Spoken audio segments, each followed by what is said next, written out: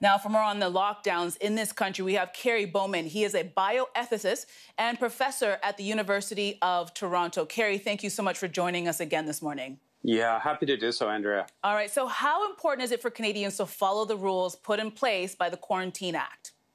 It, it's incredibly important. I mean, this is the only tool we've got. Mm-hmm. You know, it's not an act of desperation because it's going to work. It's not that it's not going to work. It is going to work if we hang in with it. But I think we all know we don't have a vaccine and we don't have any really clear treatments at this point. Mm-hmm. So we this is something we really need. I know, but what do you tell the person who's just come back from a trip and they think it's harmless to say go to the pharmacy or to head to the grocery store just to pick up a few things? What do you say to that person so they understand the importance of the 14 day self quarantine? Yeah, well, they're, they're wrong. And, you know, there, there's kind of two categories with this there's mm-hmm. people that haven't really thought very deeply about it.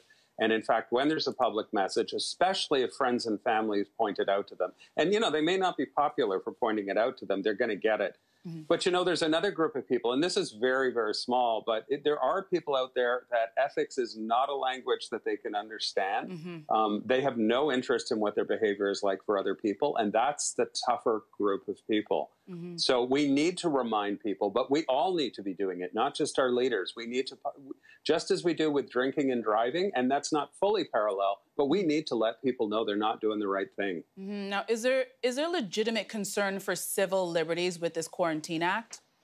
You know, there is, and, and there, there's no question, and we're a society that highly, highly values civil liberties. Mm-hmm. So for us to go down this road, this is a major uh, step.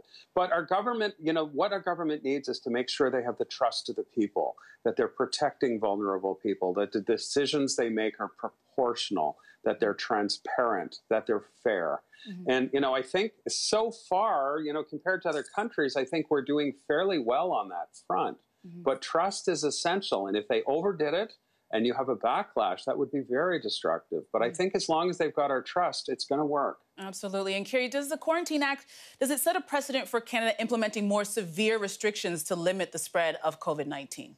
It absolutely could, and it depends on how the weeks ahead of us unfurl. And you know, we're very, very much hoping that. Um, you know, the weeks ahead, slowly, maybe like British Columbia, these are early days, we're going to slowly, slowly start to come down. Uh, but as our prime minister has said so very many times, nothing is off the table. And, you know, you can't blame them for that. But again, they've got to keep our trust, and um, we have to have their trust. You know, it works both ways. Absolutely, it does work both ways. Thank you so much for this update.